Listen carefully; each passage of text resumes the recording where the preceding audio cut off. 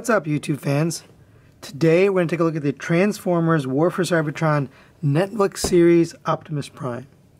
So they're not calling it Earthrise on the box. Actually, here's the box. It's a really nice box, but it doesn't say Earthrise anywhere. So that's interesting because I, I guess this is the one from the original series that's on Netflix right now.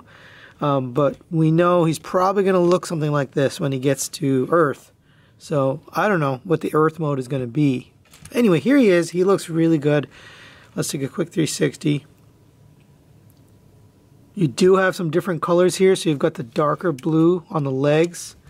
You got the darker blue on the hands and the other parts here that were a lighter blue before. Um, they've done one really great thing, which is to fix the legs. I love that they did this.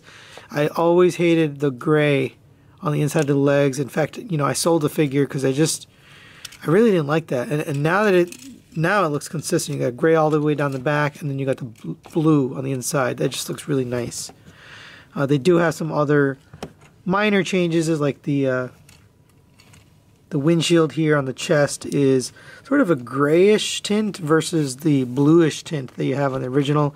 I think blue is probably a little bit more accurate, but I don't mind this one either. Um, everything else is pretty much the same on this guy. Well, I'm sorry, his face sculpt is a little bit different. In fact, uh, let's get in closer on his face sculpt so you can see how that looks. So he's got that black outline around the eyes with the blue eyes. It does look a little different than the original, but I like it. I like the look of it. Um, this is probably more toy looking or maybe more Japanese looking than the original Earthrise, but still, I'm a, I'm a fan. Uh, you do have the same articulation, but I'm going to go over it really quickly. So the head is on a ball joint. You get up and down. Nude movement there. It rotates all the way around. And you get the side to side because it's on a ball joint. Arm rotates all the way around. Goes up to there. Rotation at the bicep. Single joint elbow gets you 90 degrees. Rotation at the wrist. Single pinned for the hand. Gets you out to there. Rotation at the waist. A little bit hindered on his backpack, but you can take the backpack off. No ab crunch. The legs go up to there, back to there, out to the side. Rotation at the thigh. Double jointed knee gets you all the way up to there. Ankle tilt out to there, and a little bit of toe tilt there. So same articulation. Pretty good for uh, this uh, price point. This is a $40 figure. It does come with some accessories, so we'll take a look at those. So first is his blaster here, and that does peg into his hand, just like the original. He also gets this, which is in this pterodactyl mode. You saw the pictures early in the review, uh, but it does convert from this to an axe, which is pretty cool. So you take this, put the legs in, open up the wings, and he can wield this as a axe, and it looks really good, and it's nice and tight, and I like how that looks. Very, very nicely done. Uh, if you want to look at the other side, you can, but I think it looks better on this side personally. I guess it doesn't matter. You can do whatever you like. Uh, you can also take this and use it as a shield if you like. You open up his backpack here. Um, this is a little bit tight, but uh, you can peg his legs into the back and then peg his arms into the back. And they just basically sit there. The little guy just sits there.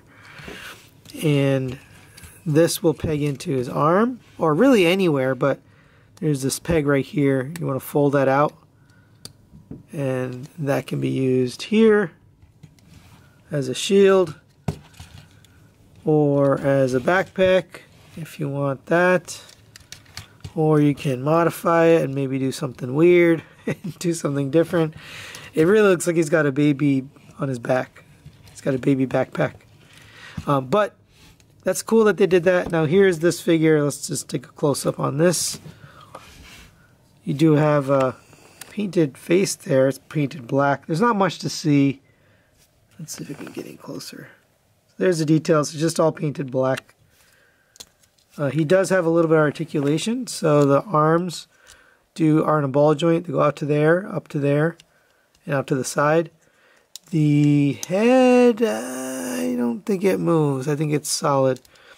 The legs do go up to there, um, although they are hindered a little bit by the backpack. They seem to be rubbing up against it. Out to the side, uh, no knee bend or anything like that. So it's the first time I've seen anything like this in the Earthrise line. So it's interesting. I, I, they have the little Battle Masters, but this, you know, it doesn't really convert. Maybe he is a retool, something else. And here's this guy. So it looks like this in the axe mode. If you fold down this, oh, we have to do his head first.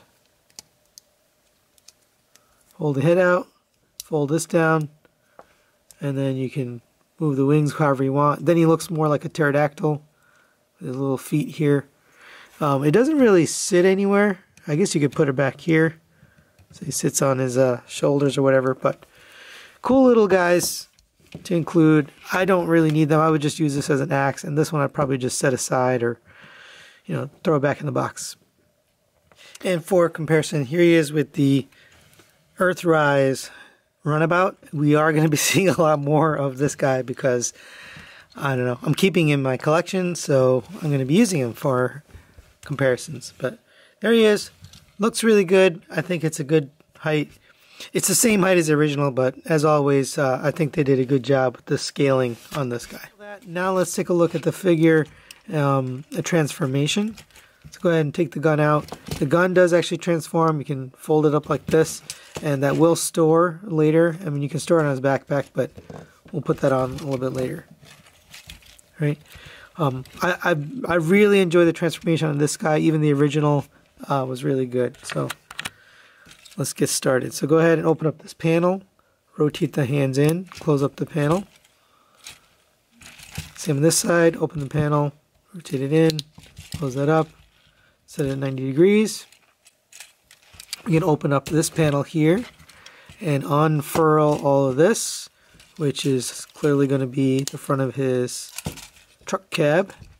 Fold out these panels here. Fold out these panels here, which look like they've got some paint on them. That's interesting. And we're going to take all of that. Go ahead and take this backpack. Unfold that. and we can open up the backpack tuck the head in there close that back up it should peg back in if you don't get it lined up it should peg in right there alright next we're going to take this and rotate this around 180 degrees uh, fold these ab pieces inwards and then close this down it should peg right in right there Stick the hands in. Since this is a, you know, third version of this, there's not no reason to spend a lot of time on him. Close up the feet, fold the legs up, peg the legs together. They do snap in nice and secure. And then the last step is to get all these panels tabbed in. So this one goes on the bottom, that one goes in the middle, that one goes on the top. Same on this side. Uh, looks like this panel already closed. There we go. And, and then go ahead and open up these gas cans. They tend to get pushed in on their own, so as you're manipulating them, sometimes they do get pushed in. And here you have Optimus in his vehicle mode, or I guess the Battle Master Optimus, whatever you want to call him. Here's the back. You can take this gun and peg this in here and have that like that. Oops. Uh-oh. Looks like this panel isn't staying very well. Oh, there we go. Okay. Uh, he does roll pretty nicely. Uh, the wheels are pretty much the same as the original. They've got that same coloring. I wasn't a huge fan of the style that they used, but I think these look better than the original wheels. They just look a little a little cleaner. Um, I don't know if these guys interact, but obviously there's peg holes here, so you could potentially do things if you wanted to. I mean, you can do all sorts of weird things with this. And for a quick comparison, there he is with the Earthrise Runamuck. And again, good good scale, good size on this vehicle mode. I think it really, you know, they've done a great job all across the board on this line. But there you go. So let's get him back into his robot mode. Go ahead and take this off. And we will put these panels back in if they haven't already done it themselves. Unpeg the legs. Open the legs back up. Oh, sorry, before we do that, make sure you release these panels. Then unpeg the, then move the legs down. I'll unpeg all these panels here. And you will see there's some red paint on this. The, the original was also painted, but this is a, looks like a slightly darker red potentially. All right, next we're going to unpeg this from here. Go ahead and take the arms out. Just leave them, leave them sitting out like that. Now that you've freed that, you can rotate the entire uh, waist section around. Go ahead and fold his abs down in. And we're going to accordion all this back down. So fold this in, fold this in, fold that in, fold on his back. Go ahead and release his head from in here. You can close this down. Close up his chest and then finally peg this all in together and getting coming to the home stretch. Go ahead and open up his feet down here. On his back, you're going to flip this over and then flip these in. Hold the arms down, open up these panels, flip those out. Flip out his hand. And there you go.